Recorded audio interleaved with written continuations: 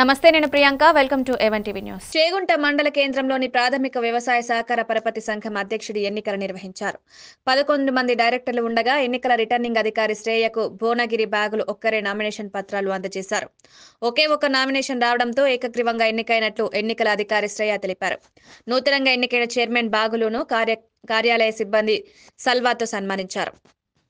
నూతనంగా ఎన్నికైన society chairman బాగులు మాట్లాడుతూ అందరి సొసైటీ డైరెక్టర్ల సహకారంతో ఏకగ్రీవంగా ఎన్నుకోవడం జరిగిందని సొసైటీ అభివృద్ధి కోసం డైరెక్టర్లందరూ సహకరించాలని కోరారు. ఈ కార్యక్రమంలో సొసైటీ సీఈఓ సందీప్తో పాటు డైరెక్టర్లు పాల్గొన్నారు.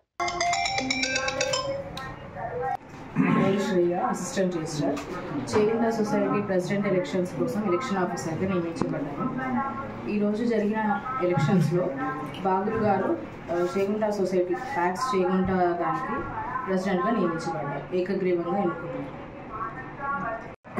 ఈరోజు చేగుంట పిఎస్సిసి సంఘ నూతన చైర్మన్గా మా తోటి డైరెక్టర్లు నన్ను యునానిమస్గా ఎన్నుకున్నందుకు వాళ్ళందరికీ నా హృదయపూర్వక ధన్యవాదాలు తెలుపుకుంటూ ఈ ఈరోజు నుంచి నేను చైర్మన్గా పదవి బాధ్యతలు చేపట్టినందుకు మా తోటి డైరెక్టర్లు అందరి సహకారంతో ఇటీ సొసైటీని ముందుకు తీసుకెళ్ళగలమని అదేవిధంగా ఎటువంటి పార్టీ బేసెస్ లేకుండా అందరినీ కలగలుపుకొని మేము ఈ సొసైటీ అభివృద్ధికి తోడ్పడతామని నా హృదయపూర్వకంగా విన్నవించుకుంటున్నాను.